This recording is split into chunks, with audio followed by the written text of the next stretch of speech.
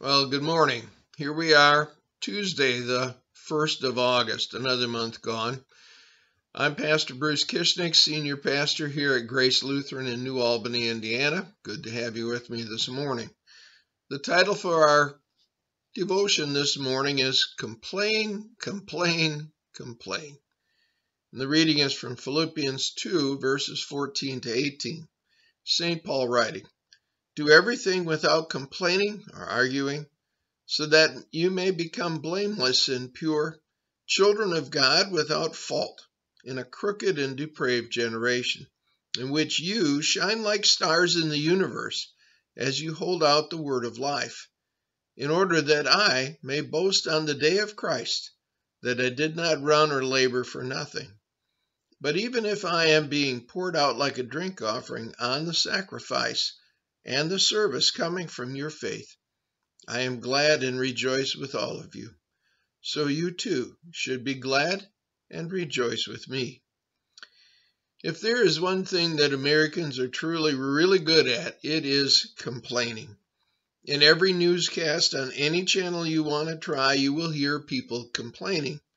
They will complain about the government, they will complain about the bus schedules, they will complain about their children's teachers, they complain about their bosses, their union, their pay, their workplace, their coworkers. They complain about their professional baseball team and their record. They complain about the price of gas and the price of their groceries. They complain about the tomatoes at the grocery store and they complain about having used the self checkout lanes. And do they ever complain about the weather? It's too hot or it's too cold, it's too wet, it's too dry. Complain, complain, complain. And the interesting thing is the children of Israel were no different. They complained about their the predicament they found themselves in when they found their backs against the Red Sea, and behind them were coming the chariot corps of Pharaoh. They complained about the thunder and the lightning at Mount Sinai when God came down to visit them.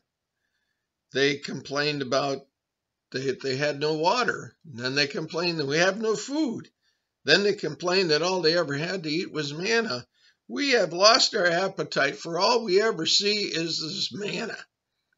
And they complained when they had to go out in the morning and pick it up, and complained that they couldn't gather more than a day at a time, except on Friday. So, you know, what are you going to do?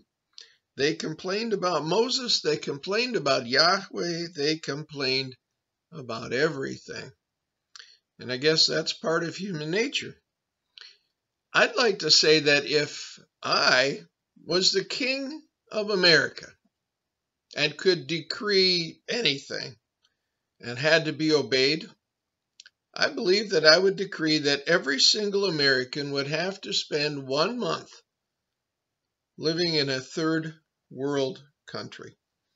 They would be sent to a village somewhere in Africa or in India or in Pakistan or in Mongolia. They would live with and live amongst the people who call that place home. They would eat what the locals eat, and they would spend their days doing exactly the things that the local people had to do every day to survive.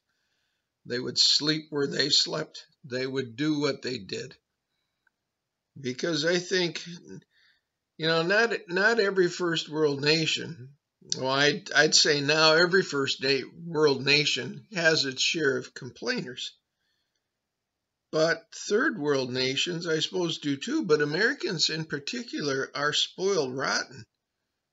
We whine and we complain about everything. We expect to be spared standing in line, we expect to be spared from having our plans delayed. We we expect to be spared from having to sit in a doctor's um, waiting room while he has an emergency that has to be dealt with. We expect grocery shelves to be fully stocked and not just with the basics. Oh no. We expect to have a half a dozen choices there and a few exotic ones besides. And if anything we want is missing, we complain loudly.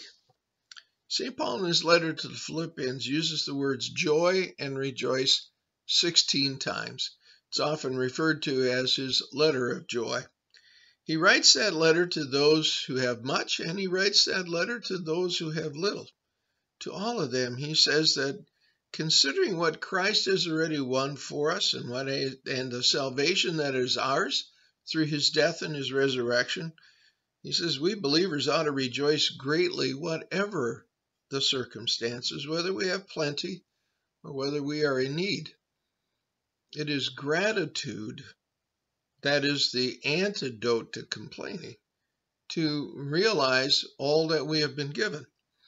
So, St. Paul talks about all the things that he has cast off, or all the things that he has lost for the sake of Christ.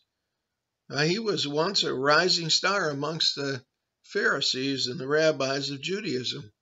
He had the ear of the high priest, and he had access to the leadership of Israel.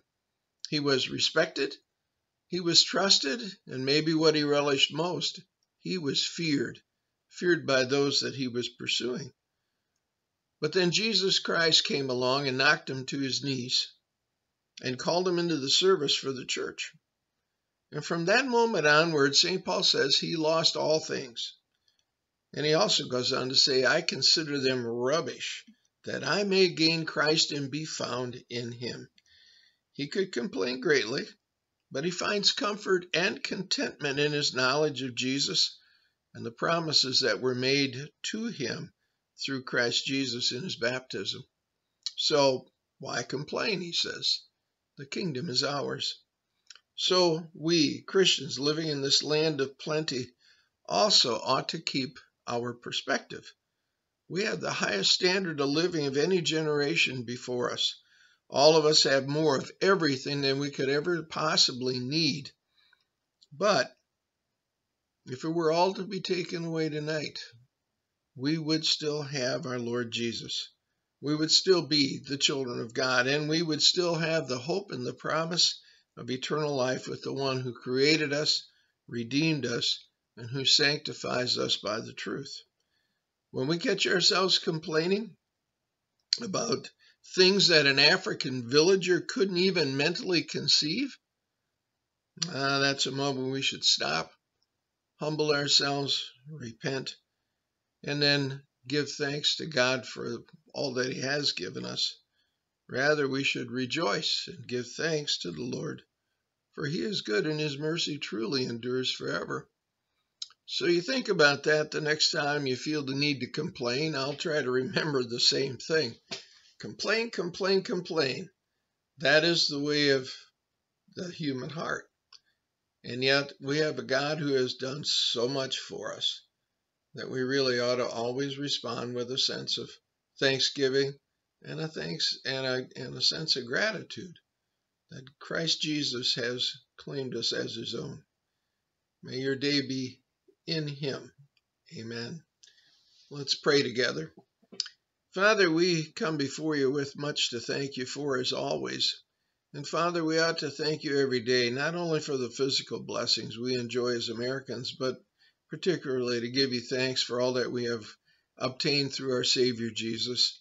Father, we ask that you'd bless us, and in those times when we find ourselves stymied by one thing or another, and when we start to complain, help us to catch ourselves at that and to repent of that and to humble ourselves and to be patient and to be grateful.